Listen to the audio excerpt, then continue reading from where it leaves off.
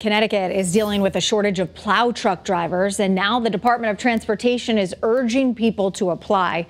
Channel 3 Eyewitness News reporter Courtney Zeller is joining us live from I 91 in Windsor with more on what this could mean for the upcoming snow season. Courtney. Well, the DOT tells us this could lead to longer response times in some areas, but they also say they are confident that won't happen.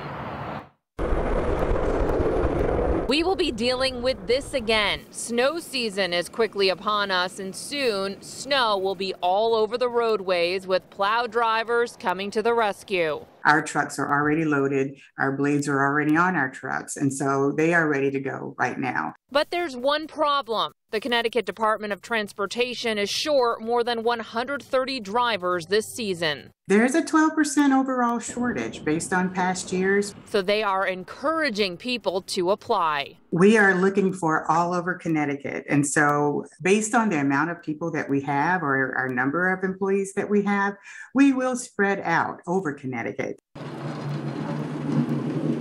We reached out to a handful of Connecticut cities and towns. For many, they are fully staffed, and that includes Windsor Locks and Vernon. If the state can't find enough drivers, you'll likely notice the impact. It could take longer for us to clear the roads, but regardless of the number of people that we have working, the DOT will get the job done. But they are confident they won't have that issue. Our crews take great pride in the work that they do, and I mean, just ensuring that we can clear the roads so that people can have safe passage from first responders to ensuring that people can get home to their families.